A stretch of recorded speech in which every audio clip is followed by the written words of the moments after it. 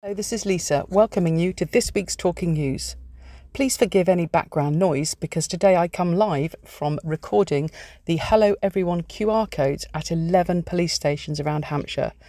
Due to the success of our Sight for Wight Hello Everyone QR code outside Newport Police Station, we've now been commissioned to put them across all of the police stations across Hampshire. The codes can be scanned by any mobile phone and they tell you how to go through the door with information, for example, is the door opening inwards, outwards, sliding? Is it automatic? Is it push? Is it pull? Then, once inside the station, it tells you how to go and find the reception desk. We're very pleased that Hampshire Police Station have taken on this accessibility feature across the entire region. In the office this week, we've also been very pleased to be programming the Alexas and starting to deliver them out to our members. If you would like to listen to the talking news on an Alexa or perhaps you already are, please don't hesitate to give the office a call. We can help with setup and we can help with providing a device. This week, we've also been testing the new Google skill. This isn't quite ready to launch yet, but we hope it will be done by the end of June. We have, however, noticed that some people have been sent USB sticks and not returned them to date. We are very appreciative that this could be because people are still isolating and unable to get outside. If you are in a position that you've had the USB stick and still want to continue receiving them but haven't managed to post them back yet, please could we ask that you give the office a call on 522205 and we can make sure that we continue the supply to them and perhaps arrange a collection or an alternative way to drop them back. Finally, this week we have also been putting into place the plans to hopefully reopen on the 1st of July. This, of course, is always subject to the announcement, which we believe will be next week. Please, everybody, stay safe. Thank you very much, Lisa. Isle of Wight screening event highlights severity of prostate cancer from Isle of Wight Radio, read by Susan. Around 30% of men who attended a prostate cancer screening event on the Isle of Wight showed potential early signs of cancer. Organised by the Isle of Wight Prostate Cancer Support Group, the Cowes event saw 250 men provide blood samples. Of those, 75 were advised to seek medical advice, while others were told to undergo repeat screening testing within the next 12 months. Blood samples were taken to the Queen Alexandra Hospital in Portsmouth where they were tested for increased levels of prostate specific antigen, PSA. PSA is protein produced by both cancerous and non cancerous tissue in the prostate and can be an early sign of cancer. The screening allows people to be alerted to the risk at an early age so they can seek further tests from their GP, as identifying prostate cancer at an early stage gives men the best chance of a full recovery. Alan Taylor, chairman of the Isle of Wight Prostate Cancer Support Group, said, We would like to thank all our supporters and volunteers who made the screening event possible, and to all those who chose to get tested. We had been advised by NHS Isle of Wight that they were concerned by the drop in referrals over the COVID period, and so there was an expectation of higher number, numbers than our usual 10% with abnormal results.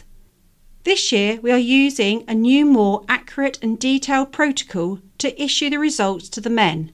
This means that not only are some men being recommended to seek further medical advice from their GP, but also some have been recommended to, effect, to attend another PSA test within the next 12 months, so that further results can be attained. Putting these two groups together resulted in 75 men receiving these instructive results. We wish to thank our partners in organising and running this event, including all our volunteers on the day, and especially Wightlink for supporting us with travel to help our courier to deliver the 250 blood samples from the Isle of Wight to QA Hospital in Portsmouth. Last month, Isle of Wight Radio revealed more than 300 are diagnosed with the illness each year on the island. The Isle of Wight Prostate Cancer Support Group is planning its next PSA blood test event, the second of four this year on July the 24th. Understanding what the UK government wants to do with your GP records from On the Wight, read by Sue. The government wants to transfer everyone's GP records into a single county wide database. They say it will improve the system, but they will also sell access to it. Read both sides of the argument and how to opt out. Readers will need to act soon if they want to protect access to their healthcare data from potentially being sold onto third parties. As part of a programme to update the system that captures data from digitised GP records, information about your mental and sexual health or details of test results or medications you are prescribed could be made available to third parties. NHS Digital say the data collected from GPs is needed to support a wide variety of research and analysis to help run and improve health and care service. Others are concerned with how the data might be used or access to it sold to third parties. The government have instructed NHS Digital to gather the following personnel information data about diagnosis, symptoms, observations, test results, medications, allergies, immunisations, referrals, recalls, and appointments, including information about physical, mental, and sexual health. Data on sex, ethnicity, and sexual orientation, data about staff who have treated patients, Med Confidential, your data will be sold. Med Confidential, who is this? Argue that the system is being rushed and that patients are not being informed of what is happening. They say that copies of your data will still be sold, i.e., disseminated for payment, not accessed exclusively via a safe setting, even though NHS Digital has one. NHS Digital state they will not be selling your data, but rather that they charge those who want to access its data. A price list can be found on the website. The government programme is formally called General Practice Data for Planning and Research and was announced after the Queen's speech last month. Until today, the government planned to push this through by the start of July. After accusations of rushing, this has been extended to the 1st of September 2021. The government argues that the system for gathering patient data is over 10 years old and needs replacing. The new improved system to collect data from GPs they say will reduce work for GPs so they have more time to focus on patient care, explain clearly how data is used to help patients feel confident and informed, mean data is collected, stored, and accessed in a secure and consistent way. Find out more on the NHS digital website. Your data will be shared, Med Confidential explain. The plans are to merge each person's medical and social care records into one single overarching record. Information about each patient is going to be extracted from GP surgery systems and used in running the administration of the NHS. It will also be given to researchers. Data about patients is a valuable commodity that can stimulate the pharmaceutical market and encourage developments in medicine and IT. NHS Digital say they do not collect patients' names or exactly where they live, postcodes are collected. They add that the data that could directly identify someone is pseudonymised before it leaves their GP practice. They would only re identify the data if there was a lawful reason to do so and it would need to be compliant with data protection law. Others are not so confident that all the data will remain anonymised. How to opt out. The government have today, the 8th of June, announced an extension for patients to opt out of having their GP data extracted into the new system. If you don't want your private healthcare data to be shared outside your GP surgery, you can opt out, but you should do it as soon as possible, at least a week before the 1st of September 2021. Full details of why you might want to opt out and how to can be found on the Med Confidential website. Who are Med Confidential? Med Confidential is an independent, non partisan organisation working with patients and medics, service users, and care professionals, drawing advice from a network of experts in the fields of health, informatics, computer security, law, ethics, and privacy. This is Chris reading an article from the Island Echo. Work to restore historic harbour walls to begin this month. Work to maintain Newport's historic harbour walls is set to start later this month. The near 400,000 regeneration is intended to restore the walls to their original condition, using specialist techniques to retain their historic appearance. Councillor Phil Jordan, Cabinet Member for Transport and Infrastructure, said the repairs were essential to preserve the very fabric of the harbour. He said, The majority of the remedial works comprise repointing and the replacement of missing bricks and stones. Where possible, it is planned to reuse the original bricks and stones where they can be recovered from the river and are suitable for reuse. Where original materials are not suitable for reuse, then matching reclaimed materials will be sourced. The work has been planned and paid for by the Isle of Wight Council, but it will be carried out by local contractor MCM Construction Limited based in Newport. A survey was commissioned in March 2014 to ascertain the condition of the walls sections of which are listed, and the level of works required to ensure they are safe and fit for purpose. The report identified significant amounts of works that were required. The first phase of repairs will focus on the most vulnerable sections. The works are due to start on the 21st of June and be completed by the end of September. The project follows a major project to dredge Newport Harbour, removing thousands of tons of silt from the bed of the River Medina to safeguard its continued use as a recreational and commercial waterway. This is Alison reading an article from Isle of Wight Radio. Isle of Wight goalkeeper secures championship deal with Blackpool. Isle of Wight goalkeeper Stuart Moore has signed a contract extension with Blackpool FC. The Isle of Wight born footballer has agreed a new 12 month contract, keeping him at Bloomfield Road until at least 2022, with an option to extend by a further year. Moore, 26, was an unused substitute in the League One playoff final as Blackpool beat Lincoln City 2 1 to secure promotion to the Championship.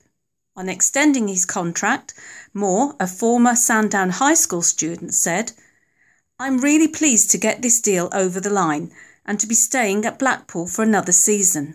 For the team to have gained promotion at Wembley last month was a fantastic achievement. From the first day I joined the club, the lads have been excellent, and it's a fantastic group to be a part of. I'm looking forward to the season ahead and can't wait to get started. This is Brian reading an article from On the Wight. Your town could be up for civic status as part of the Queen's Platinum Jubilee. As part of the celebrations to mark the Queen's Platinum Jubilee, councils across the nation are invited to showcase their civic pride and put their towns on the map. Her Majesty the Queen has agreed for a competition to be held to grant the prestigious and rare civic honours of city status and Lord Mayor or Lord Provost status to a select number of worthy towns and cities in the United Kingdom. This will be the first time in 10 years that Her Majesty awards civic honours, and the occasion comes as part of celebrations to mark the Queen's Platinum Jubilee. As part of this government's commitment to levelling up and increasing opportunity across the United Kingdom, local authorities in England, Scotland, Wales, and Northern Ireland can enter the competition and make a case for why its area deserves to be granted one of these honours. For the first time, the city status competition will also be open to applications from the Crown dependencies and overseas territories. Minister of State for the Constitution and Devolution, Chloe Smith, said The Civic Honours competition is an opportunity to promote your hometown and win an honour for it that will last for all time. I encourage entries from local authorities in every part of the UK from vibrant towns and cities with di- distinct identities, history, and sense of community. The brilliance of the United Kingdom is rooted in diverse and unique communities brought together by a shared sense of civic pride. So I have no doubt the competition will be fierce, but success will be a historic moment of celebration for the winners, which will take its place within Her Majesty's Platinum Jubilee. 2022 will be a year of celebration with three showstopper events held across the UK Birmingham 2022 Commonwealth Games, the Queen's Platinum Jubilee and Festival UK 2022 will bring people together and inspire the next generation as we renew Build Back Better from the coronavirus pandemic. Culture Secretary Oliver Dowden said, as we look forward to a year of celebration, growth, and renewal in 2022, this prestigious competition will inspire civic pride in communities right across the UK. It's a great opportunity for towns and cities in every corner of the country to showcase their heritage and tell us more about the people and places that make their local area so unique and a fitting tribute to Her Majesty's reign in her Platinum Jubilee year.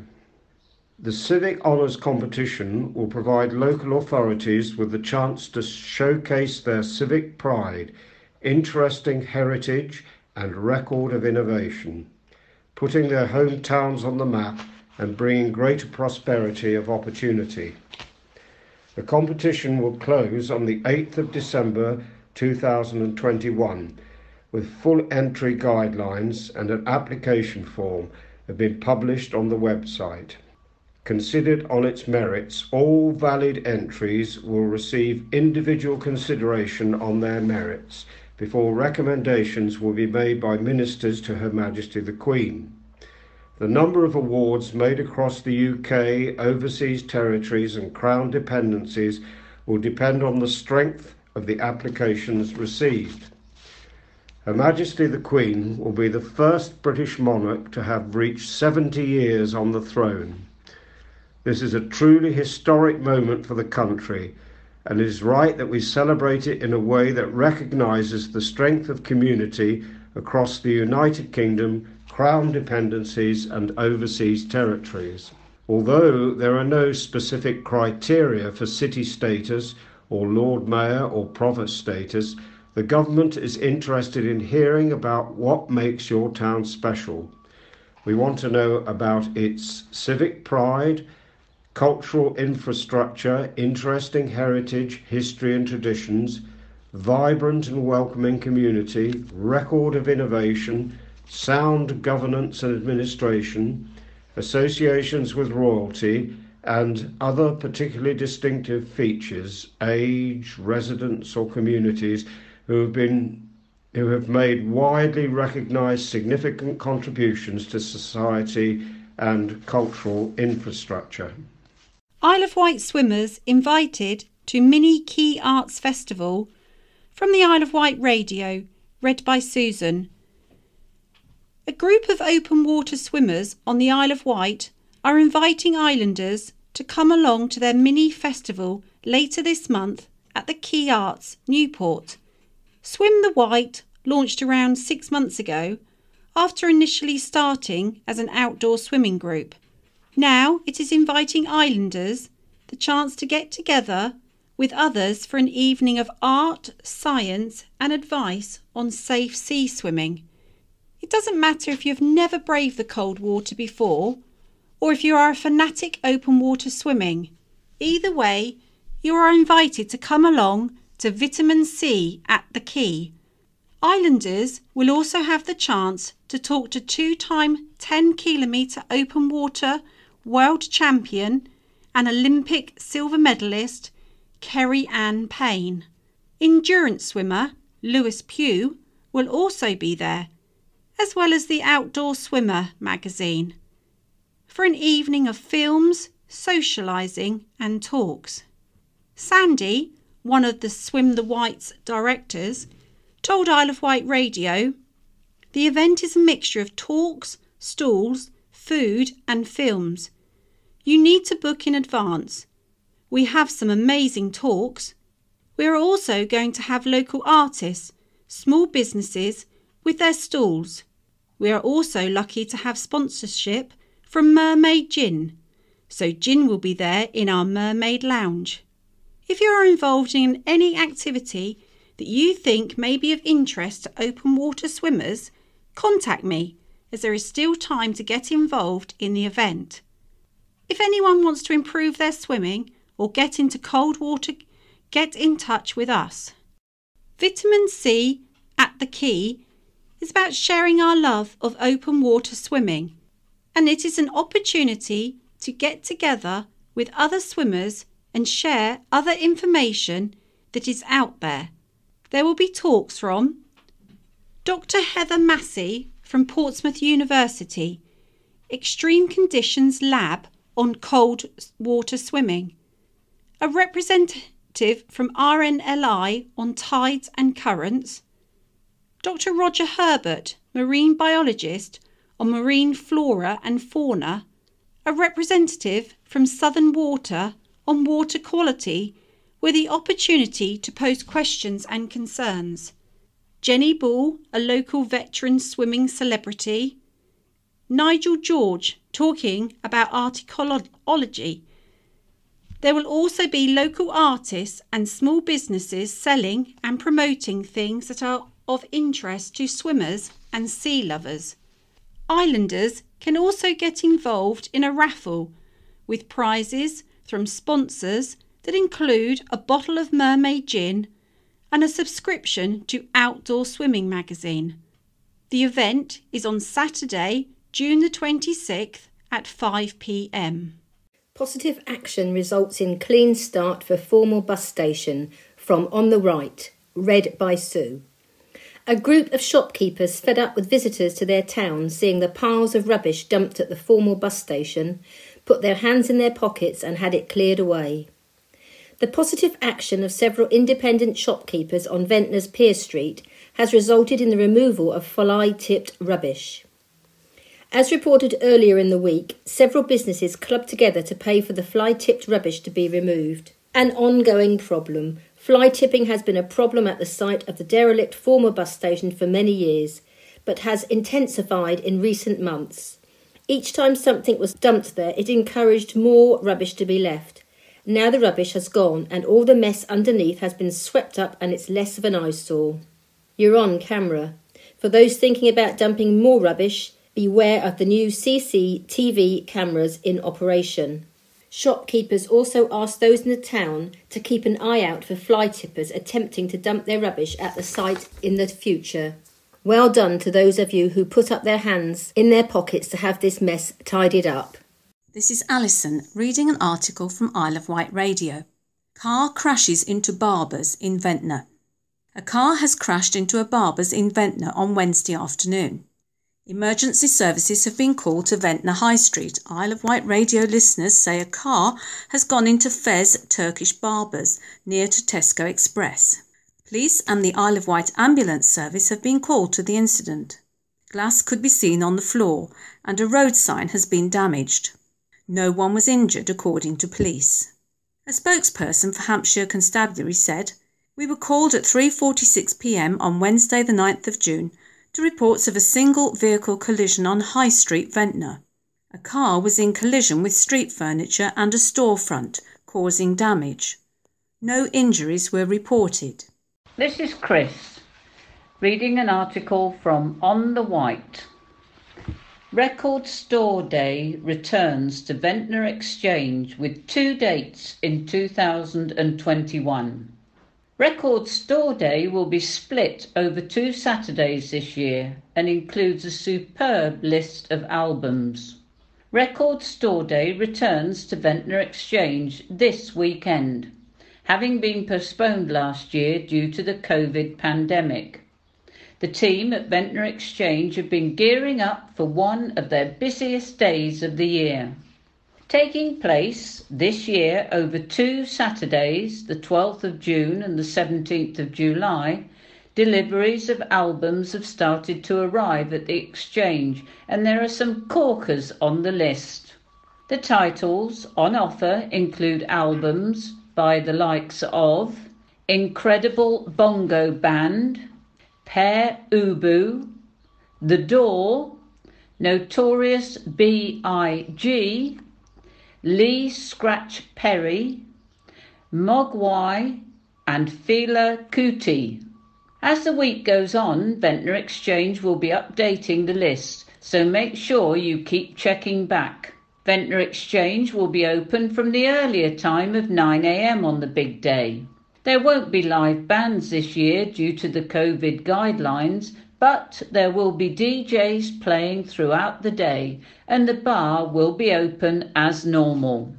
This is Alison reading an article from Isle of Wight Radio. Man arrested after making threats to kill in Ryde. A man has been arrested on suspicion of possessing an offensive weapon and making threats to kill in Ryde. Police were called to Sandcroft Avenue shortly before 8 pm on Tuesday night following reports of a disturbance in the street where it's alleged a man was making threats. Officers attended and a 29 year old man from Ryde was arrested on suspicion of possession of an offensive weapon in a public place, threats to kill, and assault of an emergency worker. He remains in custody at this time. This is Brian reading an article from the Island Echo.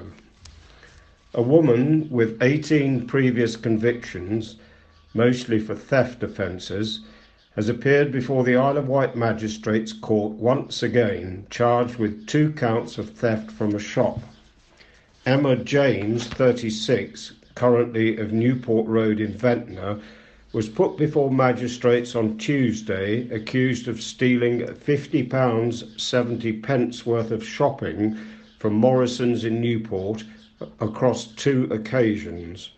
Liz Miller for the Crown Prosecution Service told the court that on the 24th of April, James entered the Morrison supermarket and picked up three candles and a blanket. She proceeded to the self scan area where she scanned just one of the candles before walking out with all of the products. Police caught up with Emma James and her boyfriend outside the store where the products were recovered from inside a suitcase. The second incident is said to have occurred on the 27th of April, just three days later. This time, James stole three gin fizzes and a chicken sandwich. She walked straight out of the shop without making any attempt to pay. The items were not recovered. Defending, Jane's solicitor said that alcoholism homelessness, and drug abuse all played a part in her life, and that she was vulnerable, especially after an unsuitable previous relationship. After pleading guilty to theft from a shop, Emma James was given a six month community order by magistrates with a requirement of 10 rehabilitation days. She was ordered to pay £45 costs with a £95 surcharge as well as compensation to the value of £16 and 70 pence. Wight gift cards offer a new way to shop. From the Isle of Wight Radio, read by Susan. Shoppers with Wight gift cards are enjoying some of the island's best brands as local shops and businesses reopen. And now there's a chance to win a free Wight gift card worth £100.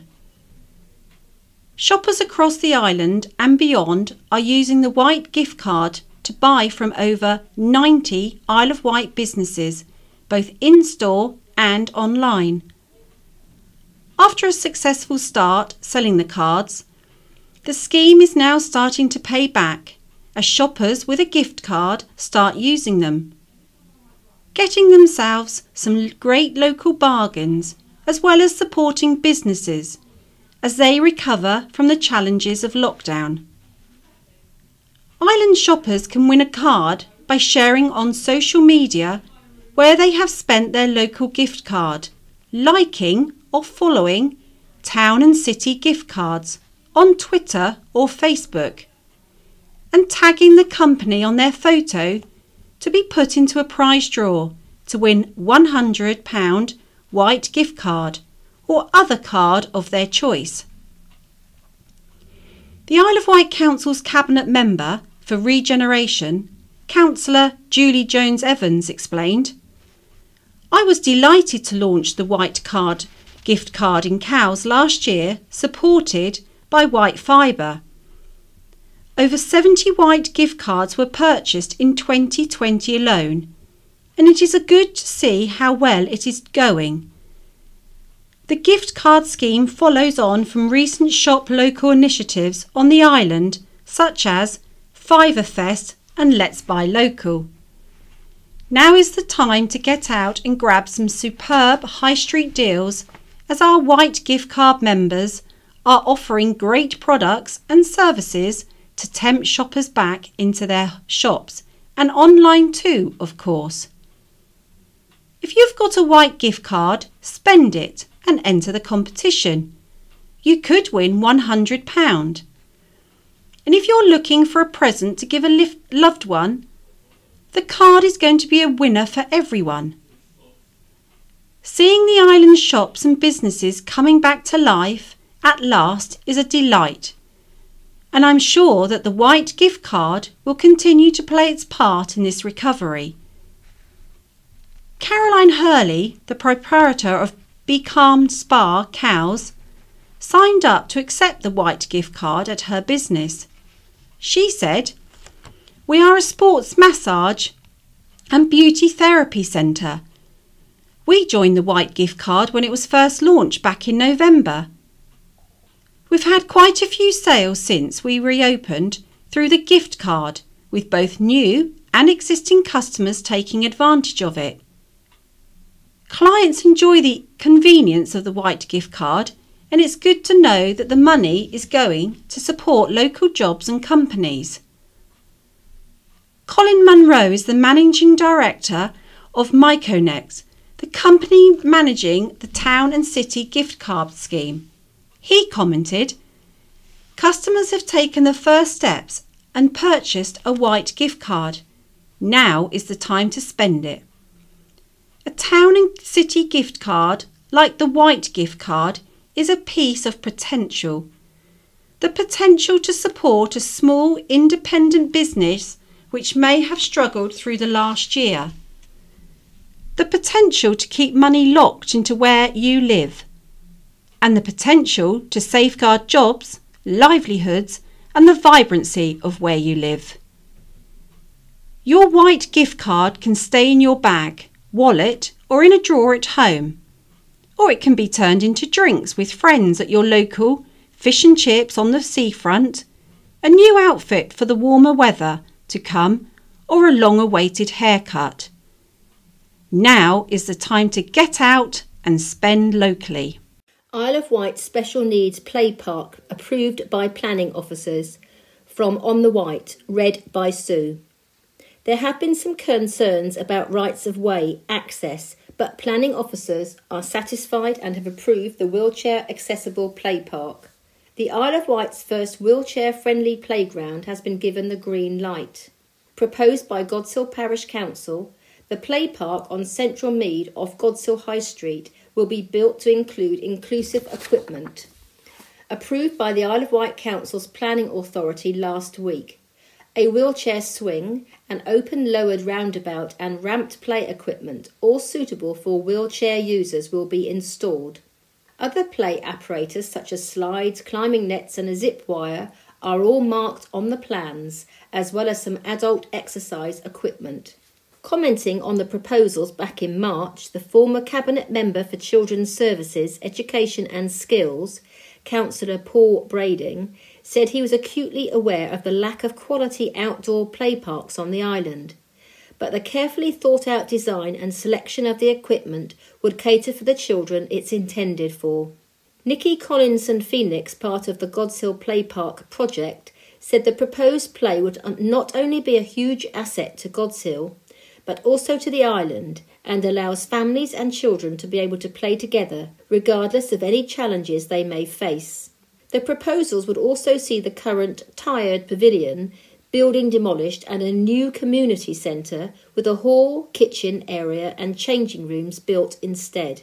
Nikki said the two proposals on Central Mead were perfectly located and meant Godshill could have a central community hub it could be proud of. Concerns have been raised, however, over the new play area, which would affect the public right of way, which would cross the field Island Roads recommended the development be refused because of inadequate access width, pedestrian access, parking provision, and the generation of traffic onto the public highway through a substandard access. Council planning officers said they were of the view that the work would not change the use of the land nor intensify the users of the site that could be expected. The scheme would be delivered in two phases, starting with the play area followed by the community centre.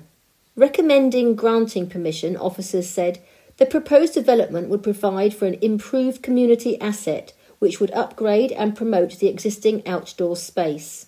The proposed works would protect residential and visual amenity and would provide betterment to the current facilities. 18 conditions were attached to the permission, which includes a stipulation that the development should begin within three years. This is Alison reading an article from Isle of Wight Radio. Burst pipe closes popular East Cowes paddling pool. East Cowes popular paddling pool has had to close because of a burst pipe and children turning blue. East Cowes Town Council has apologised and wants to reassure islanders that the blue paint is in no way harmful and can be removed using soap and water and an exfoliating glove. As previously reported on Friday, the pool had only just been reopened by the town council, but has been shut immediately. The council has received reports that youngsters were seen riding bicycles in the pool on Friday evening, and CCTV is being checked as it says it could have damaged the surface and allowed water to seep under the paint surface. The cause of the paint lifting is being investigated and also the pipe work so the pool will need to be drained. It is not known when it will reopen. A spokesperson for the town council said, We realise how disappointing this will be to everyone, but we take our responsibilities to the community seriously and will always act in their best interests. We are hopeful that the pool will be open once again in time for the summer holidays. This is Chris reading an article from On the Wight Free clean for Splash Park, thanks to Isle of Wight business New Gents. Well done to Isle of Wight cleaning business New Gents, who cleaned the Ryde Splash Park free of charge, ready for the summer season. The popular, free to use splash park on Ryde's Esplanade had fallen on hard times. Closed last year due to the COVID pandemic and with obsolete pumps and pipe work, it was in a rather sorry state until local businessman Dominic Gentleman, director of island based cleaning business New Gents Limited, organised a free clean for this ageing facility. In a great gesture from other local businesses, Harvey's Waste Clearance removed 30 sacks of rubbish collected by the Nugent's team at no charge, and the Alamo restaurant on Ryde's Esplanade delivered a free lunch to the hungry workers. A real community effort, well timed for Volunteers Week. The trustees who have operated the splash park each summer since 2014 as part of the Waterside Community Trust are hugely grateful to all the businesses involved in the clean-up. Get the water flowing. Now all that remains is for the Trust, the charity which also operates Ryde's seafront swimming pool, to try to get the creaking and aging pumps and pipes to work for another season after the prolonged COVID shutdown. It is hoped that a survey will be undertaken soon. This is Brian reading an article from On the Wight. Housing, health, and planning must invest in nature to improve people's lives, say the wildlife trusts. New report calls on all parts of government and local authorities to unlock the benefits of nature to society. A new report from the Wildlife Trusts reveals how restoring nature at a time when it has never been more degraded can bring wide ranging benefits to society, help reach net negative carbon emissions, and rebuild the economy following the pandemic. The report argues that taking a transformational approach to putting nature at the heart of a sustainable green economy will create more jobs, ensuring that land and sea are properly managed for the long term, enable people to live happier, healthier lives, and restore our much depleted natural world. A wilder recovery says that there's been a fail- failure to recognise the vital role that nature plays in our society and economy, and that this must be urgently addressed with a £1 billion per year funding package to restore nature at scale. Government spending on biodiversity has shrunk by 33% over five years even though big promises have been made to restore 30% of land for nature by 2030. DEFRA's funding is inadequate to tackle the size of the task ahead, and other government departments are doing little to help reach this target either. Worse still, some government proposals, such as planning reforms, threaten to damage our natural world even further. The Wildlife Trusts believe that all areas of government, locally and nationally, can benefit from working with nature as well as helping it to recover. For example, Treasury. Research shows investing in nature will bring good jobs to the places that need them most. An investment plan in our environment can provide the new jobs and skills needed to tackle the nature and climate crisis. Surrey's Wildlife Trust's Naturally Richer Holmesdale project, for example, has shown how repairing nature can help drive our economic recovery. Housing. New development should integrate nature into designs for new housing whilst also making communities more attractive and healthier places to live.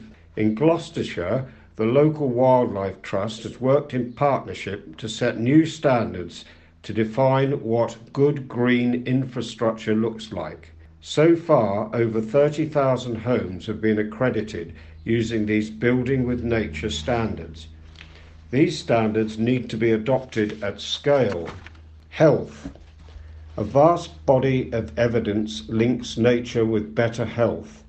Equal access to wild places is vital because such places provide a natural health service.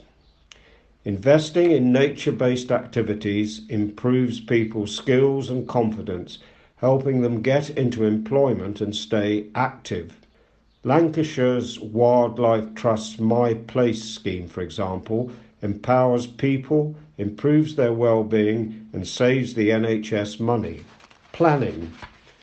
We need to think big if we are to ensure that 30% of land and seas is protected to help the natural world thrive again by 2030.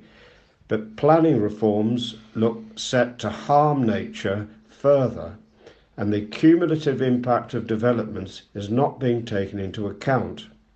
Nature should be integrated into new developments, and a new designation is needed for land that is put aside for nature's recovery.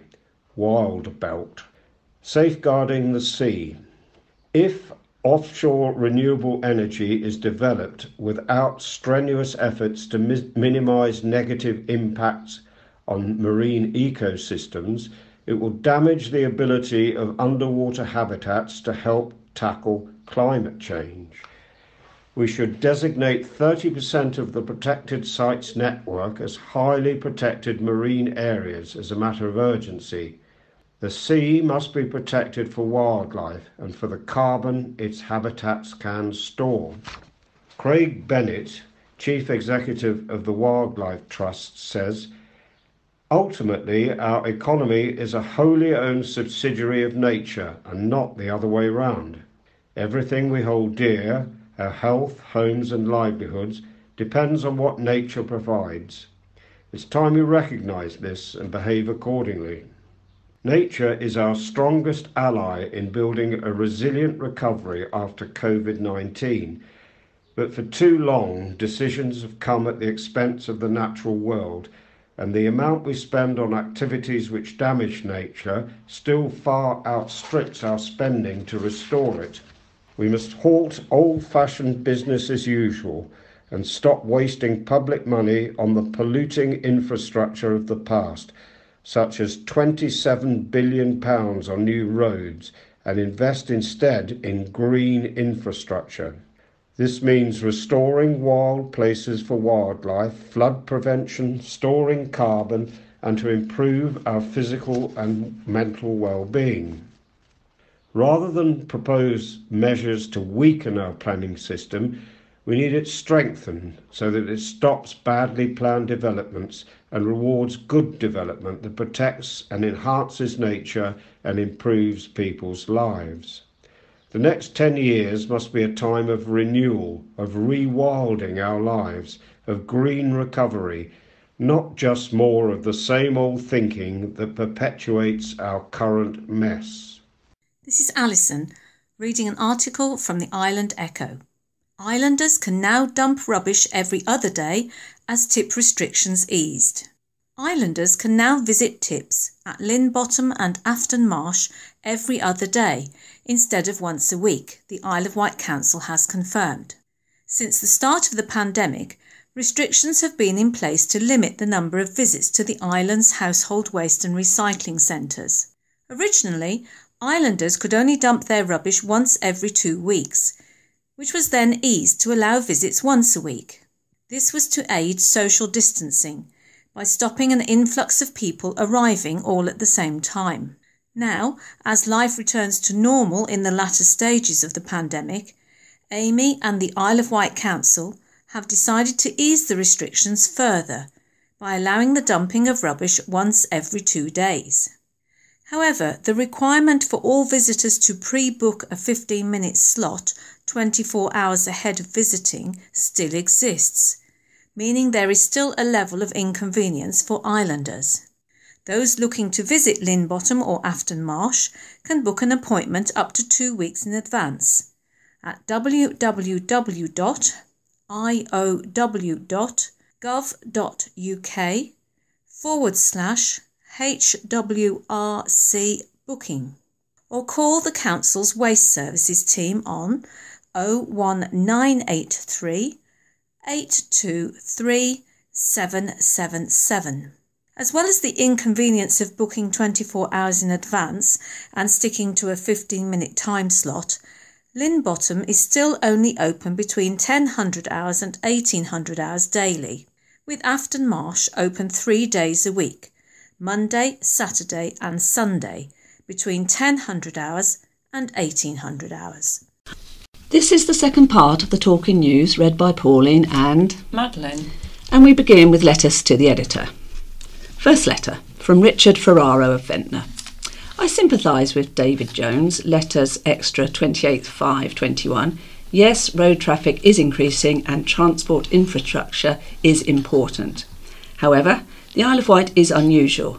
With the exception of Newport, the island escaped the onslaught of bypasses and dual carriageways in the 1960s and 70s. A lucky escape because fewer roads have helped preserve the island's beauty and character. Now, the way forward is not to invest in projects that increase road traffic, for example, a twin bore road tunnel from Gosport, nor should the island's road system be expanded, though some bottlenecks could be relieved. The solution for the Isle of Wight is low or zero carbon public transport that improves connections to, from, and within the island, and which at the same time promotes economic development, regeneration, and productive use of brownfield sites.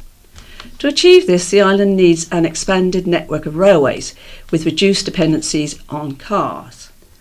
With this in mind, I look forward to the results of the current DFT funded feasibility study, looking at the business case for more railway infrastructure on the island.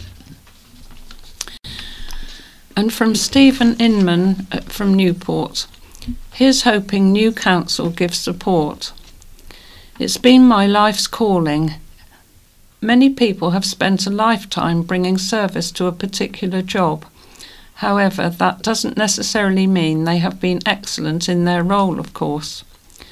Dr. Carol Tozer has endured a difficult time heading the Isle of Wight Council's Adult and Social Care Department, and her staff know only too well the struggle they have had to endure creatively to remain effective amidst the cuts she made to services. One wishes Dr. Tozer the very best in her retirement. Hopefully, with a new administration heading our Isle of Wight Council, the island can look forward to genuinely building back better and provide the support our island community deserves. From George Yates of Binstead, taxing second homes will alleviate this issue. The crisis in the rental housing market is in large part due to very low interest rates for savers. ISAs return nothing these days, and savers have turned to buying second, third homes, properties, which they then put on the rental market as an investment. Now there is a bonanza in demand for housing, particularly in desirable locations like the Isle of Wight. Investor landlords are cashing in and selling up while prices are high to make a quick and very lucrative killing. The only way to stop this and return affordable houses to families desperate to buy affordable homes is to heavily tax second home owners, making buying housing purely for investment financially a very unattractive proposition. But there is one major fly in the ointment. The party of greed are never, never going to do that, are they?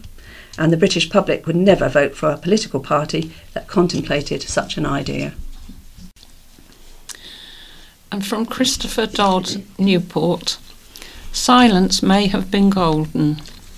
As reported in the county press on the 4th of June, the newly elected chairman of the Isle of Wight Council has without doubt got his chairmanship off in an uncompromisingly startling way. Many Isle of Wight electors will undoubtedly describe his decision to abolish pre council meeting prayers as an expression of free will, or, more seriously, a self indulgent misuse of power. Although I personally oppose the blinkered use of any sort of prayers in some sort of support of a civil function, I consider Councillor Brodie's unilateral decision should have been more considered and much less dictatorial. How very much more magnanimous would it have been for him to simply change the present convention and ask councillors to stand for a short span of silent thought and humanitarian contemplation prior to the often hurly burly nature of council meetings. I'm sure a vast majority of Islander folk would react in positive support for an action of that mature nature.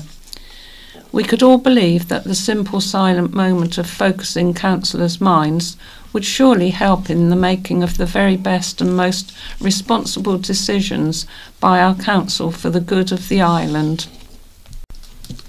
A letter, letter from Colin Green of Cowes. North south split would have made more sense.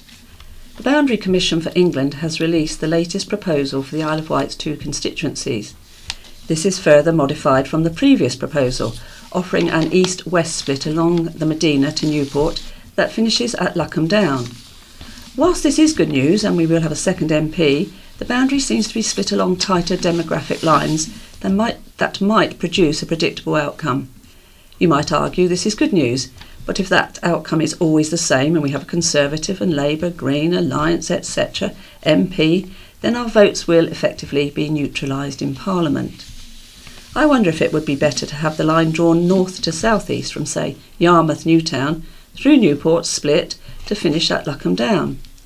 This provides an open mix of demographic views that should lead to greater competition and chance of change rather than follow fixed political lines with no advantage to the Isle of Wight. And from Donna Jones, Hampshire and Isle of Wight Police and Crime Commissioner. I want all islanders to feel safe.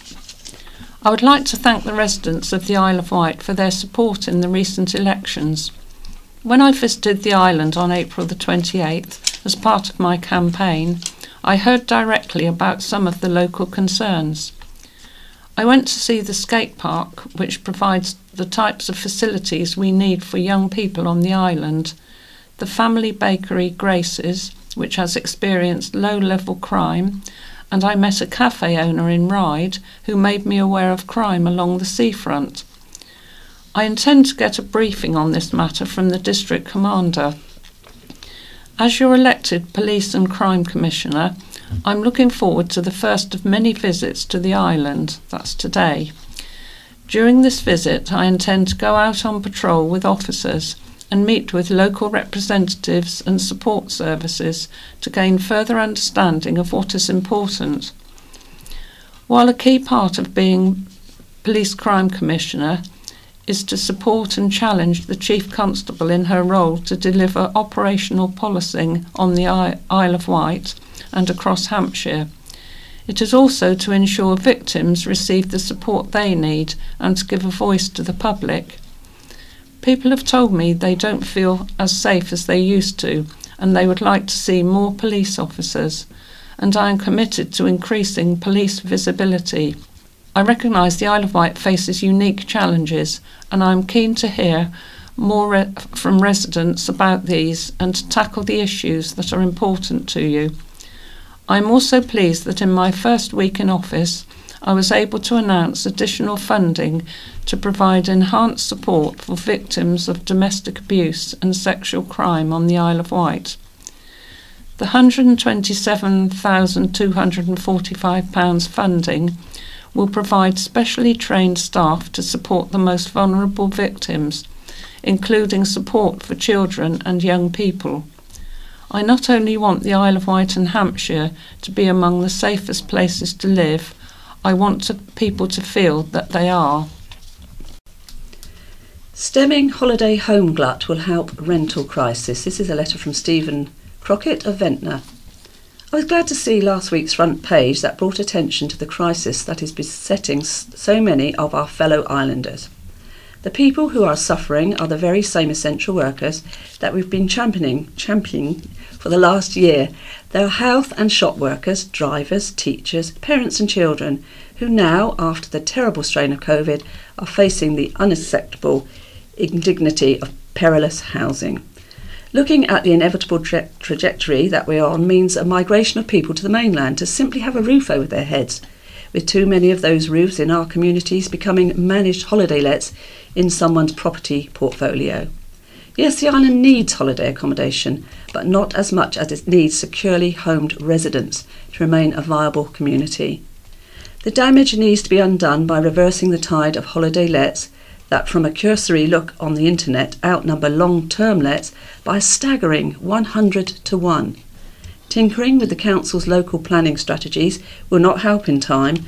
We need bold action at government level, as taken by many European cities, to restore the balance that has been lost to protect our neighbours and future generations. Some thoughts during this Refugee Week from Glenn Capani in Ryde. This week is Refugee Week, and as members of the Isle of Wight Amnesty Group, this is an important week for us to think about all the millions of people who have had to leave their homes and countries because of war, famine, and persecution and to try and make a new life elsewhere. Last October, I spent two weeks working for the charity Care for Calais. The charity has two large warehouses in Calais where food, tents, clothing, etc., are stored before distri- distribution to the unofficial refugee camps in northern France and beyond. Each day we took hot drinks, food packages, hair cutting equipment, phone charging boards, clothing, or whatever was needed. In the first week, the atmosphere at the camps was normally upbeat, despite the difficult circumstances. The overwhelming sense was of people waiting and hoping for a new life to begin. I talked to refugees about their reasons for leaving their homes, the journeys they had made, and what they hoped for. Some people had been travelling from country to country for many years, hoping to be granted settled status. Many were young men travelling alone, and some were families with very young children. In the second week, the French police began mass evictions confiscating belongings and putting people on coaches to be dropped off at the Spanish border or other random sites, often miles from any town. The evictions were often heavy handed and threatening, done in the middle of the night and contravening the Charter of Human Rights. I was shocked to learn that the UK government was funding these evictions through UK taxpayers' money to the tune of £30 million. From Calais Beach, the view to England looks extremely daunting, and I could only wonder at how desperate people would have to be making the crossing in inflatable boats. When I returned, I was horrified to learn that the body of a man trying to make the crossing had been washed up near to where I was staying, and that a family with two young children that I had seen at one of the camps had all been drowned. Life around me in Calais and back in England all went on as normal, but what I saw will never leave me. Just after one of the evictions, we were handing out hot drinks, and in the midst of all this, a small child was so happy to be given a biscuit. Even though they had nothing and were living unwanted in a strange country, the child was still smiling. Dog fouling is spoiling forests from Tricia Merrifield of Hillisgate. We live in a very beautiful location immediately, immediately alongside Parkhurst Forest at the northeast corner. Our corner and Mark's corner have for many years been popular locations for dog walkers, and of course, there has always been a minority who arrive completely unprepared and with no intention of clearing up. Throughout lockdown, there was a very visible increase in the number of owners parking in the road so they could enjoy a walk. This is actually very good to see as many were bringing along their children and introducing them to the delights of walking in green space. But unfortunately, with this surge in the number of dog walkers enjoying the forest, has come a proliferation of excrement left in the middle of the paths and immediately alongside in what should be a wildflower verge. Also, a trail of human detritus is left scattered where cars park and along the routes to and from the forest. The situation really got to me last weekend because I'm recovering from hip surgery and our bird watching friend is also needing to use a walking stick. We drove over to Tucker's Gate on the Forest Road for our annual Nightjar walk. Amazingly, just a very short walk from that busy road, these elusive birds can be heard chirring and be seen taking flight and clapping their wings, a wonderful annual treat. Thankfully, we'd taken head torches, and as soon as we walked past the gate, could see that the path ahead was a minefield of heap upon heap of dog excrement. We did manage to no- negotiate these obstacles, but it really poses the question, and perhaps someone reading this will have the answer, as to why so many dog owners regard our beautiful island countryside as one big dog toilet. It's even worse if it's on the farmland, where grazing animals have an unwelcome garnish on their meals and on one farm I'm familiar with, a field of grass was so badly dog fouled that it could not be harvested as winter forage. Forestry England have recently put signs at Hillisgate and Mark's Corner requesting that dog walkers clear up after their dogs, so I will now ask them to put one at Tucker's Gate. But will that polite request be heeded? It's such an antisocial behaviour as so many people walking dogs also enjoy walking in Parkhurst Forest, and are having continually to watch where they, and especially their children, are walking. Pushchair wheels and bicycle tyres can so easily become dog-fouled, requiring a clean-up job before reloading the car. So, a message to all dog owners, and if it's your dog, it's your poo. So please bag it, take it home, and bin it. And now for some Wight memories. Remembering Puckpool Holiday Village. The Puckpool Holiday Village was built on land surrounding the manor house and opened in 1938. It remained a holiday destination for thousands of visitors until it closed in 2006, then as Harcourt Sands. as it had combined with the next door complex of St Clare. The only break came in the war years when it became HMS Medina and the temporary home for troops waiting to be posted. Some of the site improvements and facilities were to the eventual benefit of Warner Holidays. Puckpool was once a very proud individual centre, and during the reign of General Manager Michael Stickland, it became Warner's most innovative centre in the country. Some of his ideas set new trends in the holiday industry market that were copied all over Britain. Many local functions were also held at the Ryde venue. Michael came to Puckpool in May 1960 for a job as a plate boy and walked there from Ryde Pier, a day early for a Monday start.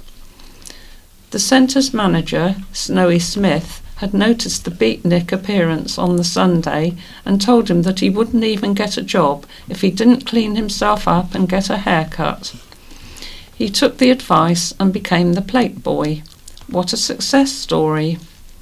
Many years later, he was on the main board of the Rank organisation, who eventually took over Warner's. In those days, Puckpool was open only was only open from May to September and many of their staff came down to work for a summer break from London jobs. Michael Stickland, a quantity surveyor, was certainly one of those. Eager for success, he graduated to bar work and then became the overall manager of their two bars and catering facilities. When Snowy Smith died in 1972, there were rumours that a mainland manager was coming to take over. Thanks to a persuasive staff, he was virtually press ganged into applying for the job and got it after a five hour interview. It was an astute decision by the Warner family. Michael introduced the idea of selling wine to the diners, and so much was sold the idea was taken up by the other centres. In 1978, they even gambled by opening at Christmas and had to import central heating facilities. The day before they opened, both he and his assistant manager were still bleeding radiators. The following Easter, they hosted the Island Soccer Festival that Christmas opening led directly to the launch of Tinsel and Turkey weekends. They began at Puckpool and in no time were copied by so many other centres and hotels throughout the country. Michael then wondered why they even had to close and subsequently hit upon the idea of weekend out of season cabaret breaks. Comedian Charlie Williams completely sold out the first one. It was a bargain to see one of Britain's top comedians for just 16 shillings 80p for the weekend. They advertised just once in the Southampton and Portsmouth evening papers and were swamped with bookings. In fact, they had a job to cope and actually overbooked. They managed to put some guests in two Ryde hotels. It went so well, no one worried. In Charlie's wake came Tony Christie, Joe Longthorne, and huge American acts like Ben E. King, who was top of the American pop charts at the time with the re release of Stand By Me. The Crickets, who included two of the late Buddy Holly's originals, Jerry Allison and Joe B. Mauldin, the world famous Ink Spots the Stylistics, who then still included their original singer Russell Thompkins and soul superstar Jimmy Ruffin. I was honoured to interview all of them and some of the special guests who came to publicise the burgeoning, burgeoning centre. These included Letitia Dean, Sharon, Sharon from EastEnders, and boxing legend Henry Cooper. Another regular guest was movie icon Oliver Reed. One of his best pals was Gus Gastor, then the entertainments manager at Puckpool. Holidaymakers were surprised to see him on site, probably in the bar. He stayed in the staff chalets. I never approached him for an interview. I knew what he did to journalists. When Ollie was filming Tommy in Portsmouth, he brought the Who's wild man Keith Moon over with him for the night. They actually watched the South Parade Pier fire, where, the, where they were filming parts of the movie from Puckpool that very night.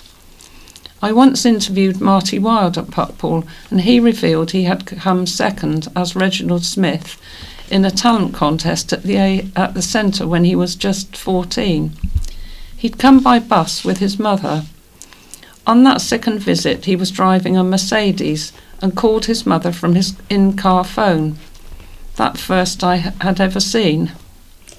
Michael was lucky to employ so many talented greencoats. This meant their production shows were of a, such a high standard. Many young performers came as regular visiting cabaret acts. Several went on to become stars. Among them were Bradley Walsh, Joe Pasquale, Darren Day, and Jimmy Cricket. They also had some very talented entertainment managers, including Chris Cole, Tim Savage, Derry James, and Tina Monroe.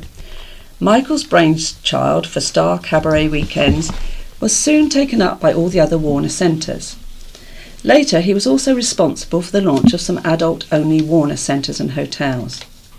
The centre also played host to some world stars from both darts and snooker. Many true legends came to display their talents. Eventually, Michael was made a regional manager for eight villages and then the operations director for all 15 Warner UK sites, not bad for a long haired beatnik. Following his rise to head office stardom, the good work at the centre was carried on by several other very accomplished managers.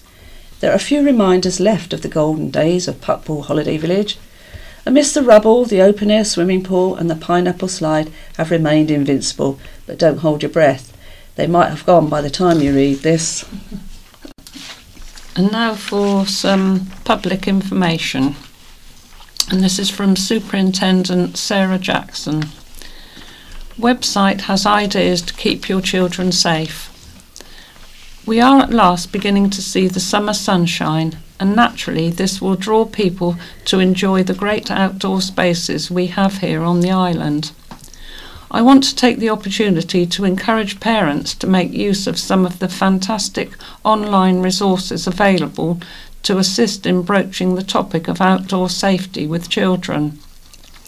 Clever Never Goes is a web- website offering an alternative to the former stranger danger message.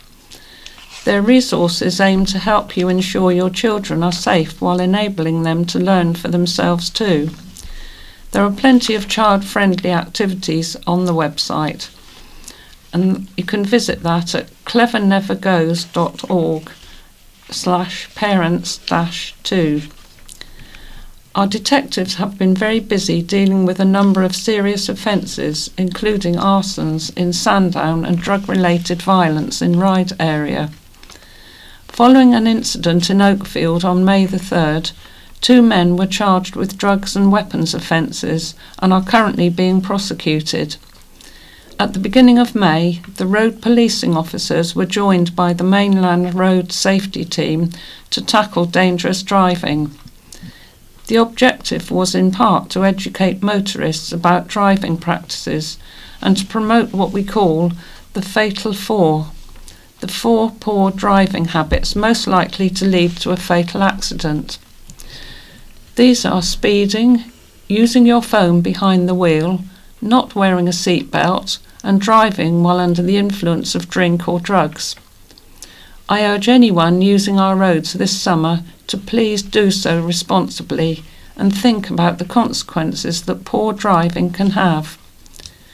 Our partners who make up the island's Domestic Abuse Forum and Serious Sexual Offences Reduction Group have been working on a campaign with the local council raising awareness of sexual violence and how to seek support if you've been affected. We encourage anyone who's been a victim to report it to us on 101. There are other organisations out there that can help you, including the Hampton Trust, who offer specialist support to islanders affected by sexual abuse.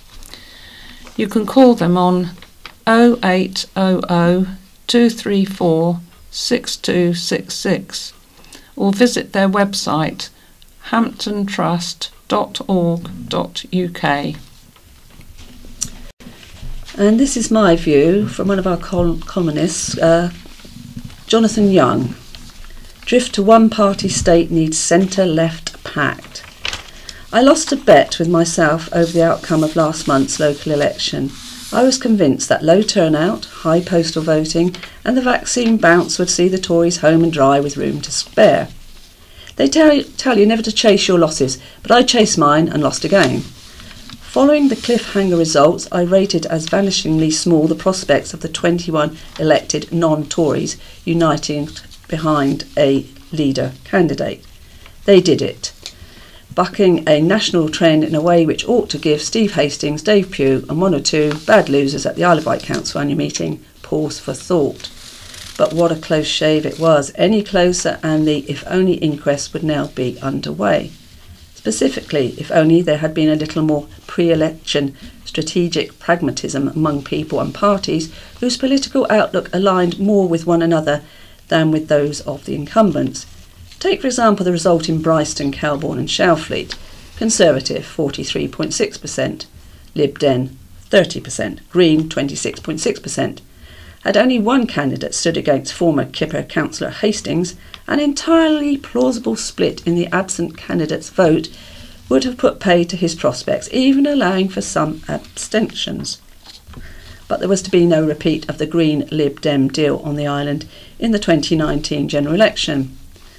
That avoidable ward result and others explain the faux outrage in Tory leafleting pre poll at the absence elsewhere of enough opposition candidates to split the vote.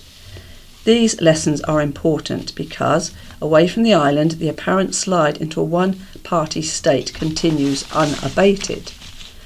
The Martin Bashir affair, which hit a, a particularly sweet spot for the Tories, is an illustration an opportunity to prop up an increasingly scrutinised monarchy, while at the same time not satisfied with stuffing the BBC's top echelons with its placement, shredding its last vestiges of independence and financial viability on the back of poor behaviour by a young reporter 25 years ago.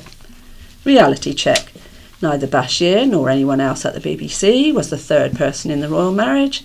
None of them unveiled a naive 19 year old into an arranged marriage masquerading as a love match and then wondered why she struggled so badly, and nor did any of them get Dodi Al Fayed's chauffeur drunk. Then there is the attack on judicial review used in 2019 to assert Parliament's right to scrutinise the government rather than be stood down on the Prime Minister's whim. That won't be allowed to happen again if Downing Street's current intentions are put into law.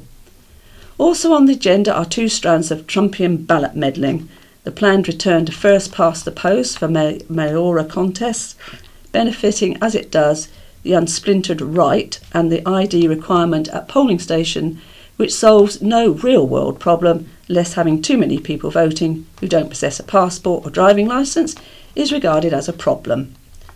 As we emerge gingerly from the health emergency, Britain's democratic emergency needs to once again take centre stage. Extraordinary times call for extraordinary measures, as COVID has taught us, and a little more electoral pragmatism by the centre and left, starting at the top, would be a useful beginning. And now for some um, some more news items. Late night music plan for Cowes. A Cowes pub is asking to extend the hours music can play at night, but one local resident says the music is so loud they cannot sleep. The Vectis Tavern on Cowes High Street is applying to play music until 1.30am most nights. The application will be heard by the Isle of Wight Council's licensing subcommittee on Monday. Currently, the establishment is permitted to play music or have live performances until midnight from Monday to Saturday, 11 pm on Sundays, and 1 am on Christmas Eve and Boxing Day. The pub, however, is allowed to stay open until 2:30 a.m. on Monday to Saturdays and 12:30 a.m. on Sundays. Now, music could be played until 1:30 a.m. Monday to Saturday and 2 a.m. on Christmas Eve, Boxing Day, and New Year's Eve. In their application, the Vectis Tavern say they have always taken a hardline approach to ensure they are compliant with their licence. The Council's Environmental Health Officer said they were not opposed but had reservations about its impact on the neighbourhoods. A noise management plan submitted by the pub, however, allayed fears. Man held after citizen's arrest. A Newport man was arrested after a member of the public helped restrain him last Friday afternoon, police have confirmed. Officers were called at 2:32 p.m. following a report of a robbery in South Street, Newport. A 36-year-old man from the freshwater area was approached by two men who stole a quantity of cash from his wallet. Officers located a man matching the description provided by the victim in Morrison's car park.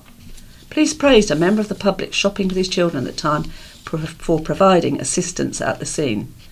39 year old man from Newport was arrested on suspicion of robbery and threat to damage or destroy property. He was remanded in custody. A 38 year old man from Sandown, Sandown was also arrested on suspicion of robbery but later released under investigation. Sentenced for neglect. A mother who admitted neglecting her baby has been sentenced at the Isle of Wight Magistrates Court. The woman, who cannot be named to protect the identity of her two children, admitted neglecting a child to cause unnecessary suffering or injury on November the 11th. The 23 year old's baby was just a few weeks old when a social worker reported the neglect. Liz Miller, prosecuting at the first hearing, said the mother had not cared for the baby in a suitable manner. Baby was soaked in urine, cold, and crying with hunger. In 2020, the woman was cautioned for the same offence with her other child. Keith Verinder, for the woman, said both children had been taken away from her and placed with their maternal grandparents. She suffers mental health problems, he said. She was given an 18 month community order, fined £40, and must pay a victim surcharge of £95 and court costs of £85. And for cricket fans, we have a cricket feast at New Close. A seconds match between Hampshire and Middlesex will kick off a two week feast of cricket at the New Close Cricket Festival at New Close County Cricket Ground today, Friday. The match, part of this year's ECB First Class Counties T20 tournament, starts at 2 pm, the first of a two week list of fixtures during the festival. With government rules on spectator sports easing, the game is not being played behind closed doors, with free parking and admission to the ground. Spectators are welcome to bring their own picnics with drinks and snacks also available from the pavilion. Young musicians selected to support Beverley Craven. The Isle of Wight Youth Jazz Orchestra has been invited to support vocalist Beverley Craven in a concert at Hambledon Vineyard on June the 26th. The Brit Award winning singer songwriter is headlining an open air music and fizz concert at the venue near Waterlooville in Hampshire. The event is being held in memory of much loved local wife and mother Tara Smith, who was a close friend of the orchestra and who died of breast cancer at the age of 49. Proceeds will go to Wessex Cancer Trust and Rowan's Hospice. Beverley Craven has spoken publicly about her own breast cancer diagnosis, first in 2005 and again in 2018. Jackie Tarry from the Isle of Wight Youth Jazz Orchestra said, We were thrilled to be asked to take part in this prestigious concert, which has been delayed due to COVID 19. Hambledon Vineyard is a beautiful venue, and as it will hopefully be the first weekend after the first ease, the final easing of lockdown, it should be a really special event. Cam Rossi, 18, who will be leading the band on the day, added, Rehearsals have been difficult. Mainly, we've only been able to get together online, but we are now able to rehearse together, which is great. An island woman is warning us to be careful where we stand on the beach after a discarded fishing hook appears to her dog's paw. Sandy was playing on Yaverland Beach recently when she let out a big scream, owner Tina Scott Roberts told the county press. Tina said, I rushed over to discover that a fishing hook, complete with bait and line, had gone into her foot. It had gone straight through and out the other side. The line still had the bait attached. Sandy, who is seven and works as a therapy dog, had to be carried off the beach and was taken to an emergency vet appointment. The hook was removed, the wound washed out, and Sandy was given a course of antibiotics. Tina has pleaded with people who are fishing on beaches to ensure everything is taken home, calling it a truly awful experience and one that she does not want to be repeated.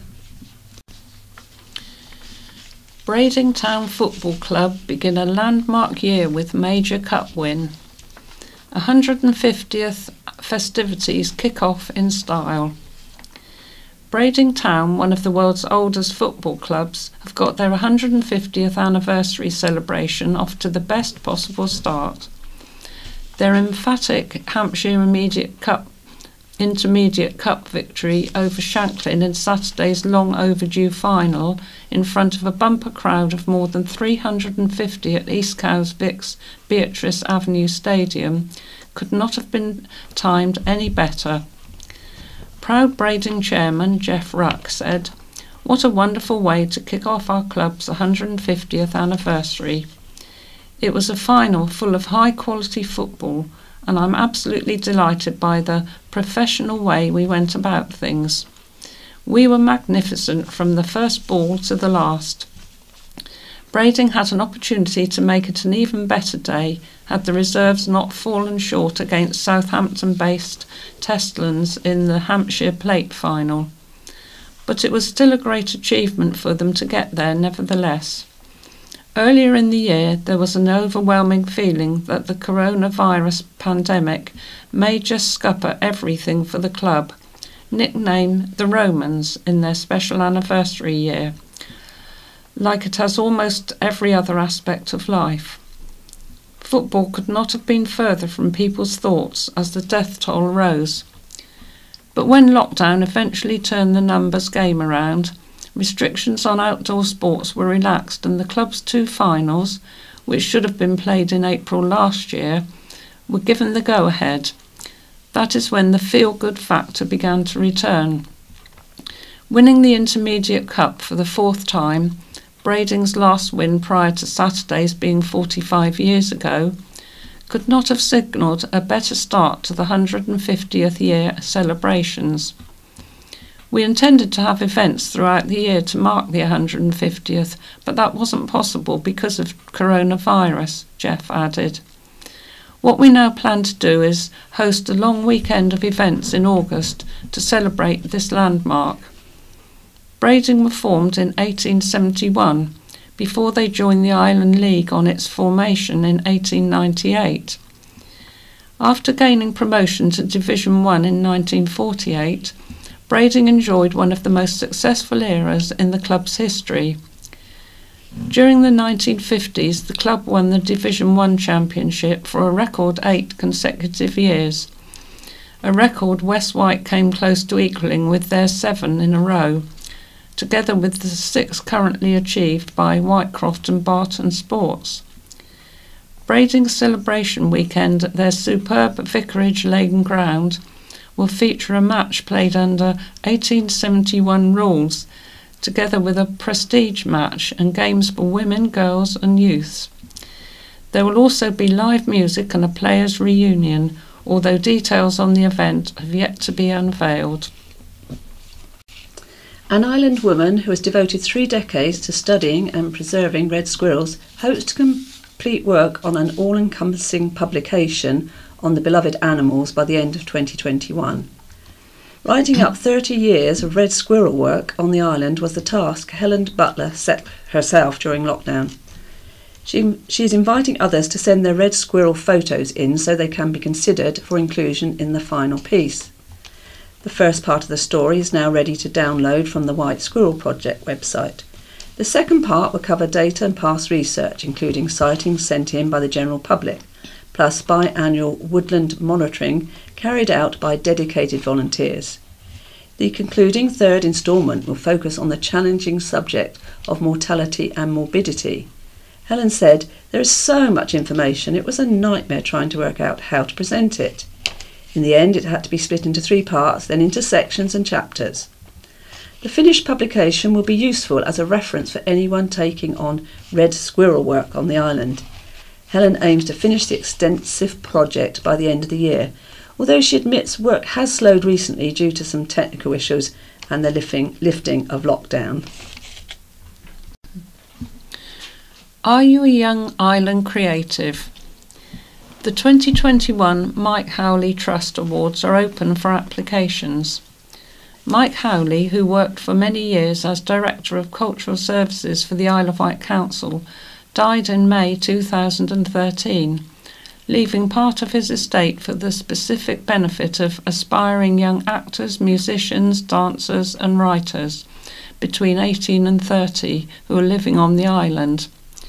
Creatives can apply for funding of up to £5,000 to help them realise their artistic ambitions. The fund is for investment in areas such as training, equipment, staging, publishing costs, or simply time to create. Due to the terms, funding is not available for visual artists. The Trust is asking for written applications this year, although people can request to apply in an alternative format. To apply, discuss your idea or ask for support with the application process contact the team by email at mht at quayarts.org. The deadline is midnight on Tuesday, June the 15th. Newport runner Gary Marshall, 40, won Sunday's gruelling Needles Half Marathon with a time of 1 hour 90 minutes and 11 seconds. Gary only started racing three years ago winning the Isle of Wight marathon, marathon at his first attempt in 2018. He was pipped to the post in the Needles Half in 2019, but won by four minutes on Sunday, crossing the line with his daughters Rosie and Megan. Gary said it was great to be back racing at a super event on a glorious day with perfect conditions. I ran through the finish line with my two biggest fans, certainly a memory I'll cherish forever. Gary runs with Ryde Harriers and Wootton Bridge Runners and wore the red vest of the Ryde Club on Sunday. Second man was Francesco Meloni and third Joe Driscoll. First woman was Valerie Sesto, 49 of Lymington, who had won the Needles half about 10 years ago. Second woman was Helen Scales and third Poppy Tanner.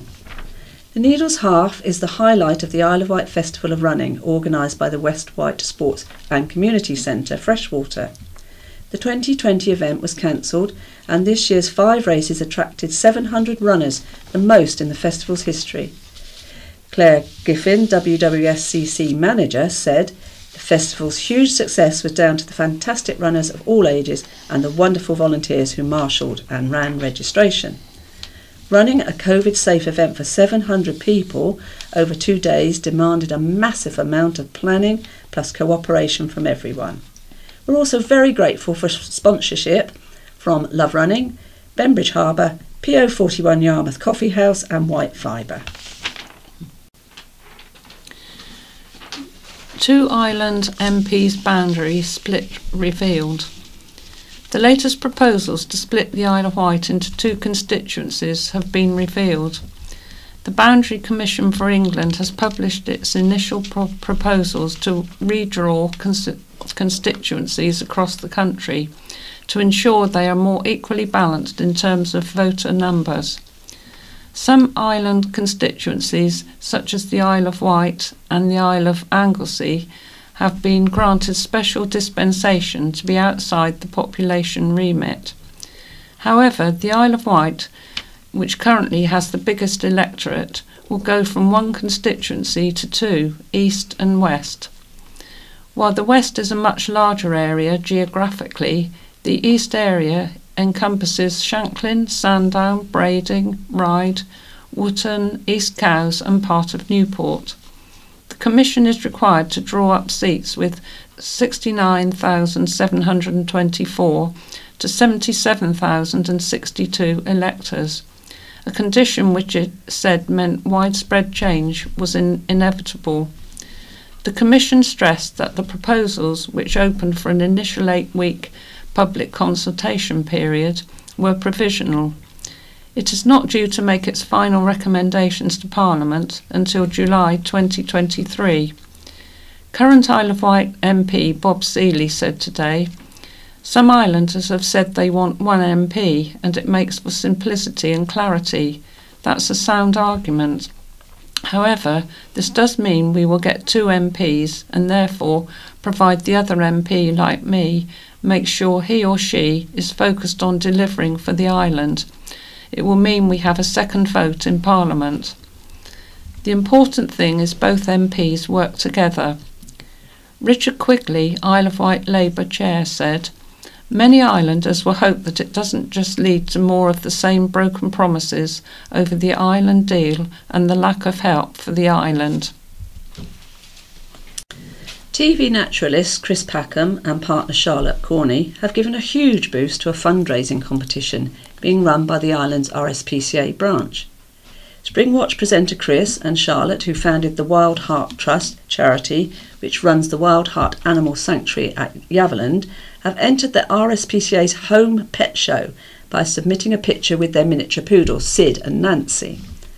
The couple have urged other animal lovers to enter the competition, which is raising money to support animal welfare, welfare activity at the centre at Godshill. The Home Pet Show is an event designed to showcase animals and the special bonds they share with their human companions. Islanders are invited to submit photographs or video footage, with local winners being put forward to regional finals of the national competition. Chris said, We are delighted to enter Sid and Nancy, who are siblings aged just over two years. The work of the RSPCA is so important. Entries cost £2.50 each, with funds going to the RSPCA Isle of Wight. Winners will be invited for refreshments and a VIP behind the scenes tour of the RSPCA IW Animal Rescue Centre.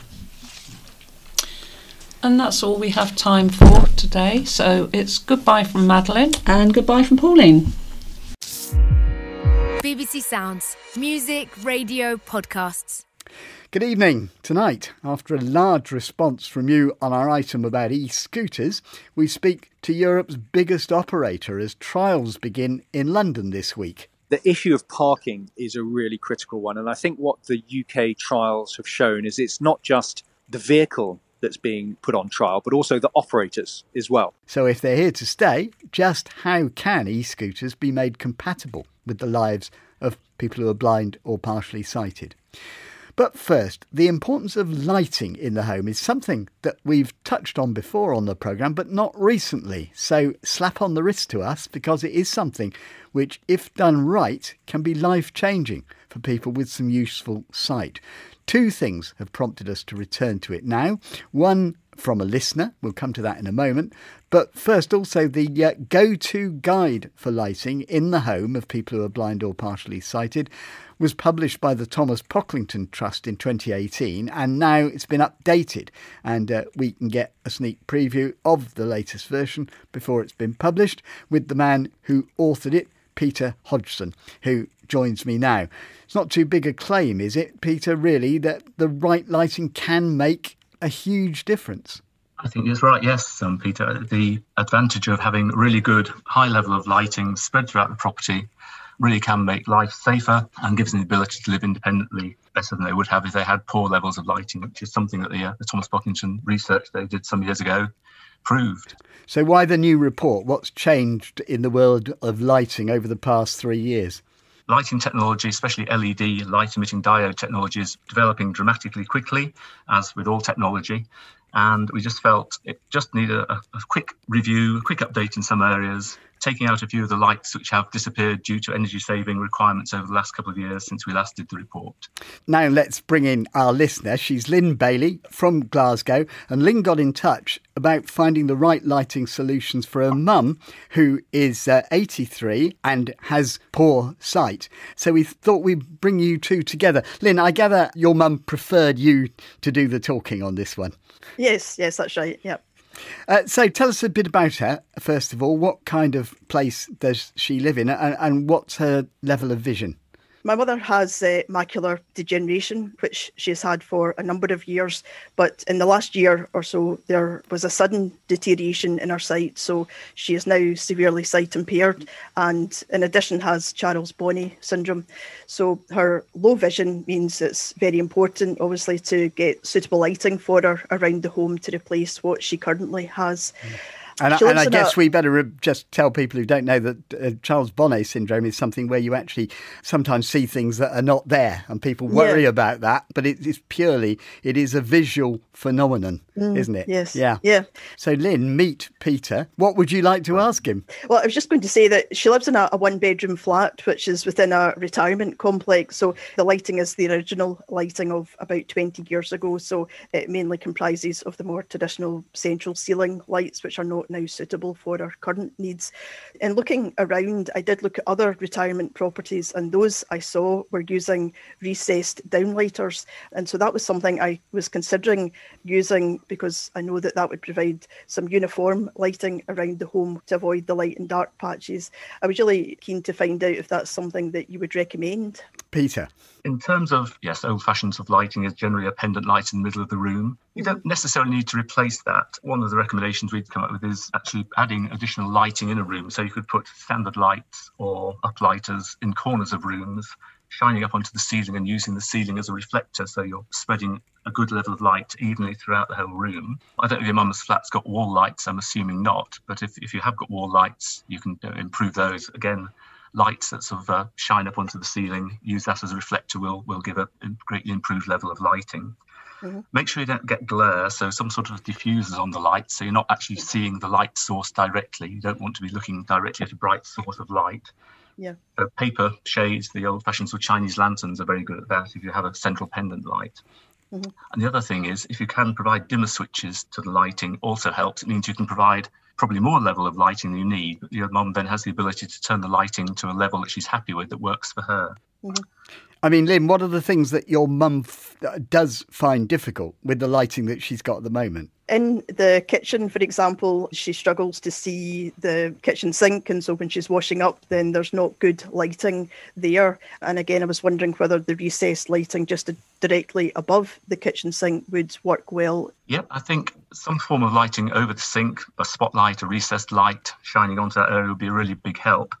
Mm-hmm. In terms of sort of kitchen lighting generally, very old fashioned sounding, but linear fluorescent strip lights down the centre of the room. I think your mum's kitchen is a, a, galley kitchen, so it's pretty long and thin. A, a linear light down the middle of the ceiling is probably going to give a very good level of background lighting without causing too many shadows. Mm-hmm. And you can then add sort of LED strip lights, little fluorescent lights, or even LED lights on a self adhesive tape now, which you can just connect with a transformer into existing sockets so you don't need to do wiring, but you can put those on the bottom of the wall cupboards directly over the worktop, put them at the front so they're not in sight. But that will give a, a really good level of lighting on worktops as well. If your mum's trying to do things like chopping food and preparing food, it really does help with that.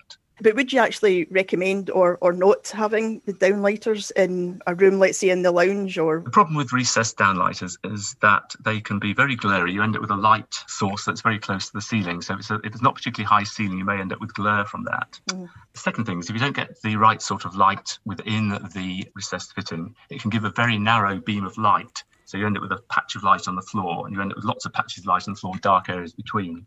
So you need to make sure if you are going to go for that sort of lighting, that you have wide beam lights within them so they give a good spread of light. Mm-hmm. I think another thing to think about if you are going to retrofit these type of lights, fire protection. You can't just start cutting holes necessarily in the yeah. ceiling because it, it, may breach the fire protection. So you've got to make sure that it's either a fire resistant fitting or you have some sort of fire barrier behind it. Sure. And and would you have any kind of way of determining how many lights would be suitable in a room? Is there any kind of formula that helps to determine what would work to avoid the dark patches? The simple answer is there is no simple formula to do it, I'm afraid it basically the bigger the room the more lighting you're going to need both in terms of floor area and ceiling height both will impact on it. I think if you get a good electrician they should be able to calculate how many lights you'll need to give a certain lighting level within a, a room of a certain size using a certain type of light. So they should be able to calculate that for you and come up with the number of lights and the spread positioning of those lights to make it work.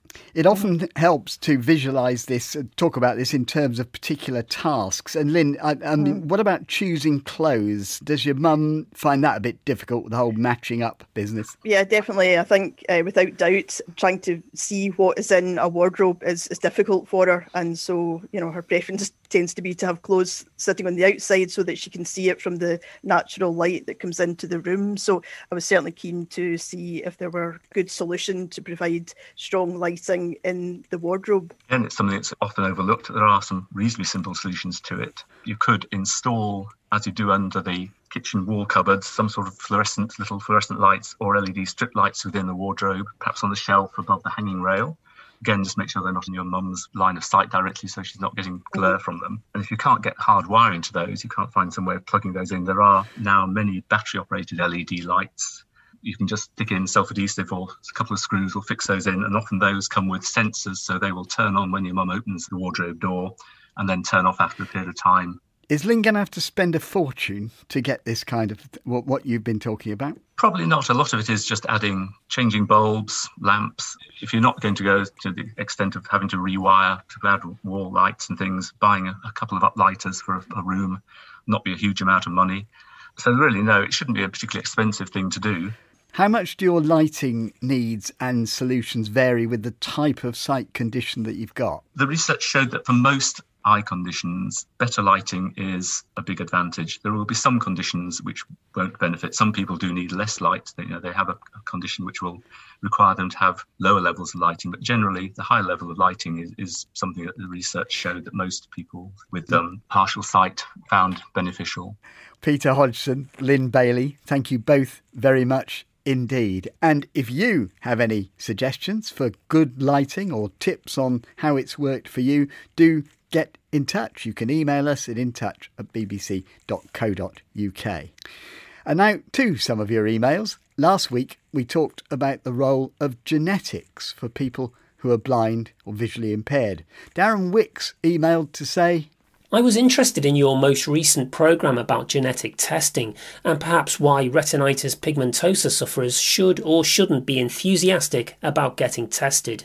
The week before your programme, I received my results from Addenbrooke's in Cambridge. I have a 20 year old son and have always been concerned about the possible impact on him and if he would have to take steps if he planned to have a family of his own.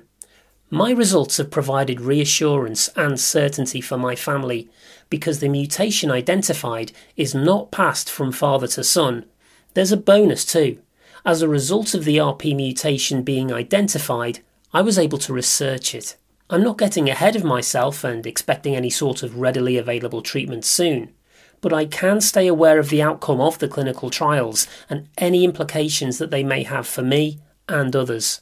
I know some people have no interest in finding out, but for my family, it's been a bit of a game changer. On the same subject, Brian Gaff wrote There was no discussion about the role of counsellors.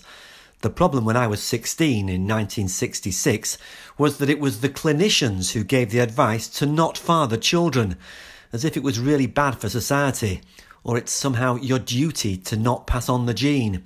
I do hope that this has changed, I never did have children, and I've missed the boat at 70. But for others, this really might be very much a current problem. Remember, at the age I was, you absolutely take notice of those who are older and supposedly wiser. Well, as you can hear in Brian's email, it is such an emotive subject. But my impression and my hope would be that the purpose of genetic counselling would be to give people the information they need but leave the decision about having children to them. Well, do keep your thoughts coming in on that. And you did really want to talk about e scooters after our item a couple of weeks ago. There was a lot of criticism, but Jane Swain is a fan. I like e scooters, I think they're good for the environment. I'm partially sighted. I can see with only one eye and not brilliantly with the other. Consequently, I can't drive. Anything that makes it easier for me to get around is positive, so I welcome e scooters. I already ride an electric bike. I also ride on the pavement when the road is busy. It's safer for me, but I do always slow down and give way to pedestrians. Well, of course, riding on the pavement is always going to be controversial. It's not allowed, for one thing, Jane. And on the environmental benefits, Tim Malia was angered that we didn't talk more about that aspect. The focus on someone leaving an e scooter on the pavement being a hazard was ludicrous. As a society, we're going to have to get used to near silent electric vehicles. Very little on Radio 4 completely incenses me. This piece did. Well, Tim, perhaps you don't have to pick your way through the increasing amount of obstacles on our pavements with poor or no sight, as Rhiannon Valadini spelt out in our recent programme on this subject. I had one particular incident where I was walking with a friend who had to bodily move me out of the way because I was going to fall over it as I couldn't identify where it had been left. Uh, and it was just laying across the pavement in the dark. I've also walked into their handlebars when they've just been propped up against cafe seating areas in the middle of pavements. And a lot of the walkways in Cambridge are very narrow already without further obstacles sort of being lent against chairs or just just lent up against windows uh, where the, the foot are just left in the path. Which is exactly why we did want to return to the topic of e scooters, not just because we had a big response to it, but because the largest trial yet in any single area of the country has started in London this week. It's thought the results of this trial, along with the others in 50 towns and cities in the UK, will be pivotal in whether the government decide to make e-scooters a permanent feature of the landscape and crucially whether owning one privately could be made legal which it currently isn't. Well there are three companies involved in the trials in london. One of them is TIER their regional manager fred jones joined me from the launch in canary wharf. And since we were upbraided by tim about the environmental benefits i began by asking Fred about that first. Well, I think, you know, it's not too controversial to say that cars have a pretty negative impact on our cities and towns. Around 60% of car trips are under five kilometres and involve just one person in the car. And this is like the perfect sweet spot for uh, people replacing those with an e scooter, which is obviously zero emission. And so they offer a really sustainable and environmentally friendly way of getting around and hopefully solving this chronic problem of congestion and pollution in our cities. But as you heard there, one of the biggest problems for people who are blind or partially sighted is that these are often left parked on the streets for people to bump into. How are you dealing with those concerns? You're obviously aware of them. Absolutely. I mean, the first thing to say is these are valid concerns and they do pose a risk because of their silence. We've set up our UK safety board representing the sight loss community. So we've got the Thomas Pocklington Trust and London Vision and Transport for All on there. And they scrutinise our approach and advise us to develop the safest possible service in the UK. And of course, one of the points that's often made is having some sort of audio alarm or have the scooters make a distinctive noise would be very helpful to people who are blind, as obviously they're electric, so they're like silent assassins. What work are you doing on this? So, we were the first operator to commit to developing this solution and fitting it onto our scooters in the UK. Now, when we started this bit of work and, and, made this commitment, we, you know, asked, well, you know, what's the right sound and how should it work? And because no one's done this before, there was no standard to follow. So over the past six months, we've been working really closely with the Thomas Pocklington Trust and sight loss councils to conduct some research to define this solution. And I'm really pleased with the progress we've made. We're just a few weeks and, months away from completing that work, and we're hoping to roll out this solution in the back end of this year. You say, you know, there hasn't been much work on this, but there's been work on e cars, haven't there? Which is exactly the, the same kind of problem. In they're, they're very quiet. Couldn't you just borrow that work? Haven't they got come to some reasonable conclusions yet? Not yet. You're right. Both electric buses and electric cars suffer the same challenge. So there are companies looking at that work. There's no industry standard for micromobility for bikes and, and scooters. And of course, the other thing is that um, e-scooters dumped on the pavement by people, they're not going to be making any noise anyway, are they? The issue of parking is a really critical one. And I think what the UK trials have shown is it's not just the vehicle that's being put on trial, but also the operators as well. And there's a number of operators in the UK at the moment. At TIER, we strongly advocate uh, for mandatory parking. It's not possible with a, a TIER scooter in York or London to just leave it parked anywhere, blocking the pavements, leaning up against cafes, as some of your listeners explained in their emails. With a TIER scooter, you can only end the trip if it's parked in a very specific location, often like a car parking space that's been repurposed. And we've invested heavily in the technology to make sure that that's done accurately. We've had you know, over 98% parking compliance in York. We haven't had any complaints or issues from the local visually impaired community, and I'm really proud of the steps we've taken to show how e-scooters can be operated safely. Do you think e-scooters should be made legal for private ownership? One of the challenges with private scooters versus shared scooters is the lack of control and standards. So, to give you an example of what that might be, you know, we have our scooters large wheels and suspension that makes it suitable for riding on the road. Our scooters at TIER have indicator lights and crash helmets included uh, in our service up in York. All these are really important to make people feel safe on our scooters and therefore ride them correctly on the road. Whereas if you're on a flimsy private scooter, you might be more tempted to go on the pavements, and I think that's a dangerous thing. Fred Jones from TIER. Well, we'll listen out for his scooters and when uh, we do get those audio warnings fitted. And that's it for this week. Do continue to send us your views on anything you hear in the programme, or indeed don't hear and think you ought to. You can email in touch at bbc.co.uk. You can leave a message on 0161 836 1338 or go to our website bbc.co.uk forward slash in touch from where you can get more information or download tonight's and many past editions of the programme. From me, Peter White, producer Simon Hoven, and studio managers Sharon Hughes and Phil Booth. Goodbye. In the Ventnor area, Ventnor Heritage Museum in Spring Hill, 4 Church Street, 28A Pier Street, Lucknow House, Wallace Road, Wroxall, and Skips outside South Bank, Park Avenue. In the Ryde area, at 4, 4 South Street, 13 Esplanade Street, 51 George Street, Ward Associates 39 Union Street, 30 Nelson Street, Jack's 75 Union Street, The Anchorage, Seafield Road, Seaview.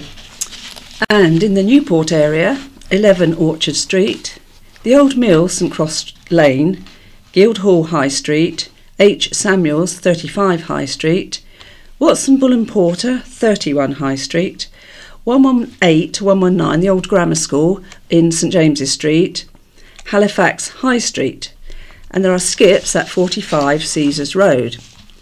In the Cowes area, 31 Mill Hill Road, 72 High Street, Toby's of Cowes, 9 High Street, and 5 Birmingham Road. In the Yarmouth area, at Southford, 1 Tennyson Road, Grove Cottage, St James's Street, Skips on the, at On the Rocks Bridge Road, and in the freshwater area, Royal Standard, 15 School Green Road, and Skips at 1 Court Road.